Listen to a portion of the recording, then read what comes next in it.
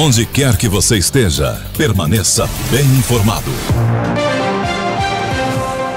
Vereadores definem na quinta-feira, dia 5 de maio, se promulgou ou não o reajuste dos próprios subsídios. A reportagem é de Gustavo Galvão.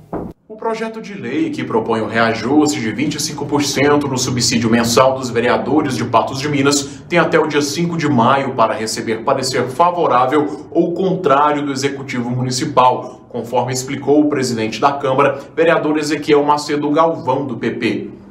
Nós estamos aguardando ainda é, o projeto, o, como são 15 dias úteis que é, vence no dia 5 próximo, é, é, com relação a isso nós temos somente que aguardar, que ainda pode ser sancionado, pode ser vetado, ou aguardar o silêncio para que o projeto volte é, com a sanção tácita. Com relação à manifestação, é, é justo que, que, que, que a população, que as pessoas façam suas, suas manifestações. Né? Nós vimos que vieram uma manifestação ordeira, respeitosa.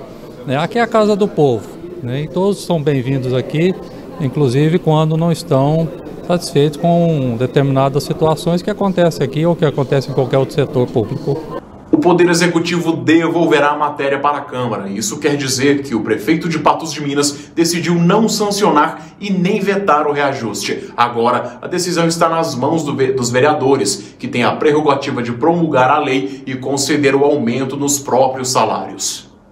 Se o aumento for aprovado, os parlamentares terão de encarar a hostilidade da população, que não gostou nem um pouco da medida. O projeto de lei que propõe o reajuste de 25% no subsídio mensal dos vereadores de Patos de Minas tem até o dia 5 de maio para receber parecer favorável ou contrário do. É, meu nome é Arthur, 23 anos, sou estudante de medicina aqui no Unipan.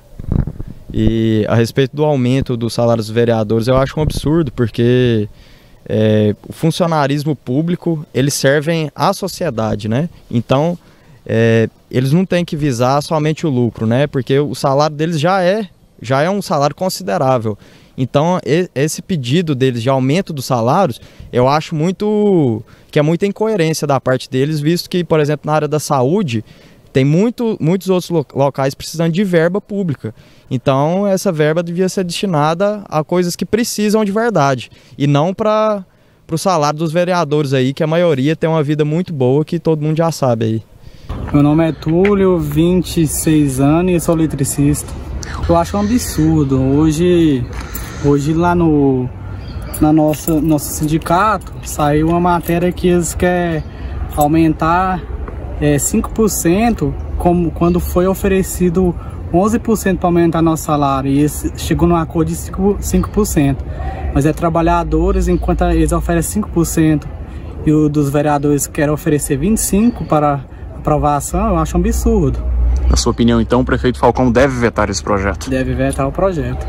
Ficou o presidente da Câmara, vereador Ezequiel Macedo Galvão, do PP.